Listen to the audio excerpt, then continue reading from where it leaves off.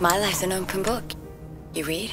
With her famous porcelain skin and piercing blue eyes, Nicole Kidman can appear unreadable, bordering on cold. But as an actress, she uses this to her advantage. In so many of her roles, she peels back the layers of that self possessed exterior to reveal something powerful and surprising simmering underneath. And why haven't you ever been jealous about me? The unifying thread in Kidman's performances is that there's something happening under the surface. I wrestle alone in the dark, in the deep dark, and that only I can know. Only I can understand my own condition. She always gives us the feeling that there's going to be more to her character than initially meets the eye. I'm trying to decide whether I'm happy or sad. People usually know. However much her roles vary, Kidman time and time again exposes the darkness under the perfect facade. Personally speaking, I can't wait to watch life tear you apart. Subverts character types we think we know, and radiates emotion and inner life even when she's playing someone who keeps it all bottled up. Things aren't nice anymore. So, as she lights up the screen once again in Aquaman, let's take a look at Kidman's diverse body of work to see how her trademark is revealing the time honored truth that looks can be deceiving. You said that you loved me. And, and, and I wondered if, If if. it was just an act, Yes.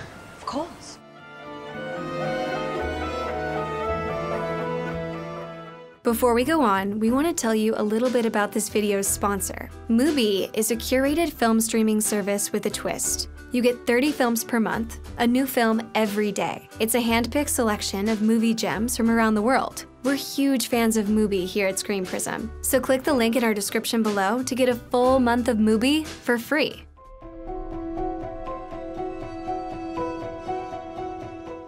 Perhaps my self worth is made up of how other people see me.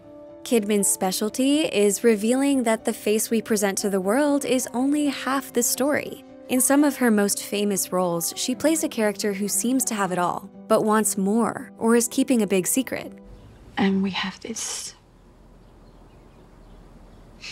dirty secret. In Big Little Lies, Kidman Celeste is covering up her husband's abuse behind a perfect facade. You are so bad. Love it when I'm bad.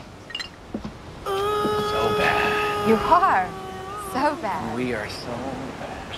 Even before she lets us in on Celeste's secret, Kidman projects an underlying anxiety in Celeste. My superpower. I actually get it from mom. We see a disconnect between how she presents herself and what she really feels. Something wounded about her, if you ask me. And throughout the show, Kidman is always giving us two layers at once a woman putting up a front, and the troubled waters underneath that placid surface. Here, when her friend Madeline tells her she should go back to work as a lawyer, You're gonna be a lawyer again. No. Celeste's pained look is not the response we'd expect from a woman getting praised. We see on her face that she's thinking about why she can't resume her career. Her husband won't allow it. He just likes me to be at home in the house. But in the next breath, she surprises us with this outburst of elation. King miss it! Kidman makes Celeste's transitions from one state of mind to another lightning quick. Like when she's playfully stripping for Perry via Skype, spots a bruise he's given her, and abruptly stops. Okay, that's enough, naughty boy. Or when Perry has just aggressively grabbed her and she snaps into mom mode. Okay, let's go, sweetie. The speed and fluidity of these changes are a sign of Kidman's control as an actor. Less skilled actors take longer to make these shifts and let us see the strings. I did not hit her. I did not. Oh, hi, Mark. But in real life, people, like Celeste, switch between modes in a flash. When Celeste goes to the couple's therapist, Dr. Reisman, we see Celeste getting defensive as the narrative she's created about her life is challenged. We both become violent sometimes. I take my share of the blame. He hurts you. Look, I'm not a victim here. She thinks she's better than this because she's also bought into the idea of her life that she's been projecting. I'm madly in love with him. He adores me. He, he, he treats me like a goddess. The dramatic power of these scenes comes out as the image she's been maintaining has to crumble and give way to the inner reality she finally acknowledges. That must have been terrifying. Did you think of leaving him then? I've thought of leaving him many times.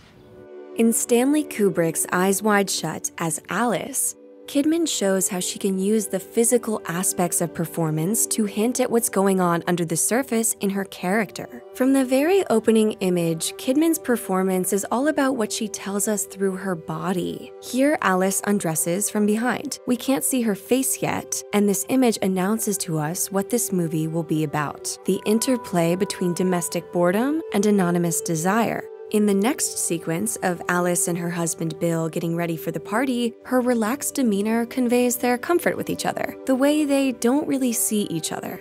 Is my hair okay? It's great. You're not even looking at it. The character she's initially presenting to us here is a sweet, even slightly bashful wife and mother, composed and put together, who evidently has it all. But as soon as she gets to the Christmas party and gets a moment away from Bill, Watch Alice's physical looseness, conveying her feeling of reckless abandon as she flirts with a stranger. Didn't he wind up all by himself, crying his eyes out in some place with a very bad climate? Later, as she takes off her glasses and looks into the mirror, her gaze is at once alluring and frightening. This intense look seems to convey to us that her most powerful desire comes out once she's taken the glasses off and is making love to a man she can't see, effectively, a stranger. The glasses may strike us in different moments as sophisticated and sexy, or casual and domestic, yet her use of the glasses makes us aware of her female gaze. And the question of Alice's desire is very much what sets the events of the film in motion. If you men only knew. Let's look especially at Kidman's physicality in the famous bedroom scene. Her body is open and vulnerable here, as she reveals her most secret fantasy about having sex with a stranger she once saw. And I thought if he wanted me, even if it was only for one night.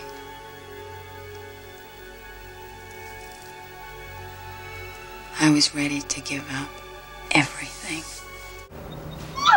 But the hysterical fits of laughter moving through her are almost hostile, as if she's laughing at Bill. The erotic femininity she exudes seems to strike Bill as threatening, confrontational. Millions of years of evolution. Right? Right? Men have to stick it in every place they can, but for women, women it is just about security and commitment and uh, whatever the f- else. She tells her story in a slow, dreamy way, making it feel like her character is getting lost in this memory. He glanced at me as he walked past, just a glance. Judging by Bill's shock, this is a side of Alice that usually stays hidden. So, the way that Kidman externalizes this part of her character through her body, pacing, and tone of voice makes us feel like we're getting a rare glimpse inside Alice's head. And yet it was weird because at the same time, you were dearer to me than ever.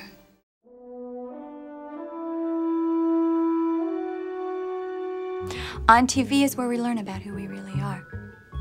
Because what's the point of doing anything worthwhile if nobody's watching? One of the key techniques Kidman uses is setting up a character who seems coherent and knowable, only to completely surprise us by revealing that we didn't know this person at all. As Satine in Moulin Rouge, she's a courtesan who morphs to play to men's fantasies. What's his type? Wilting flower? Bright and bubbly? Ah! Or smoldering temptress. But Satine's pretending goes beyond just turning herself into a dream woman. She's also hiding her tuberculosis. And what's touching about her secret is that, in the end, she's so vulnerable and helpless. While the character we've gotten to know throughout this whole movie seemed entirely sure and sophisticated, almost infallible. In To Die For, Kidman plays an aspiring news anchor who's using people's perception of her to her advantage. I'm a professional person, for Christ's sake. I come from a good home. Who do you think a jury would believe? Here, as in a number of her roles, she eventually reveals a darkness and agency in her character that wasn't evident at first, and we watch her character manipulate others the same way Kidman manipulated us. He doesn't deserve to live.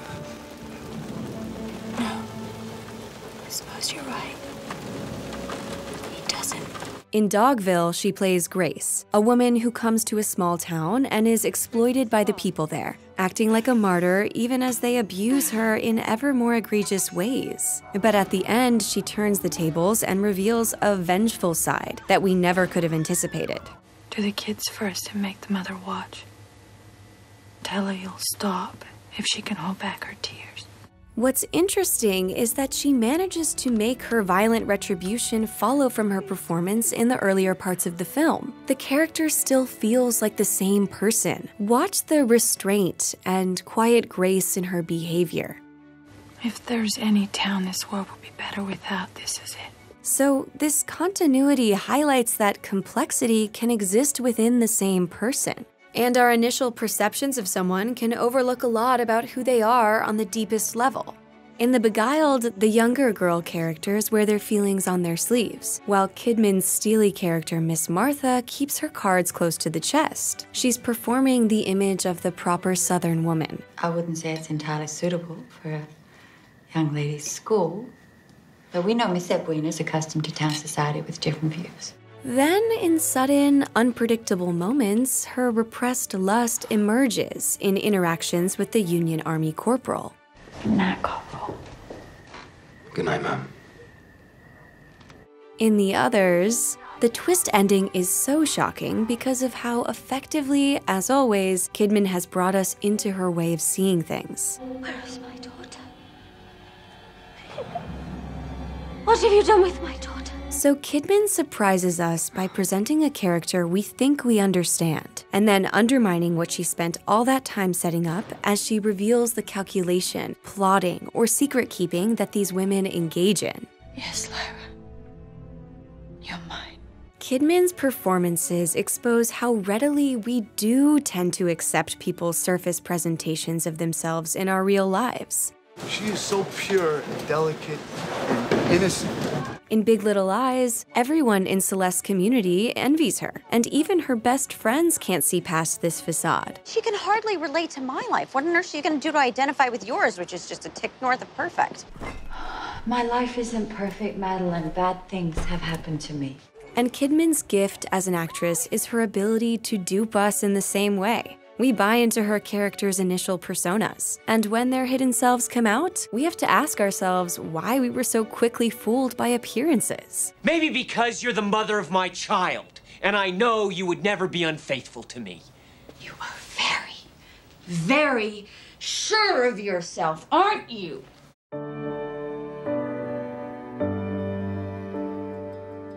Someone has to die in order that the rest of us should value life more.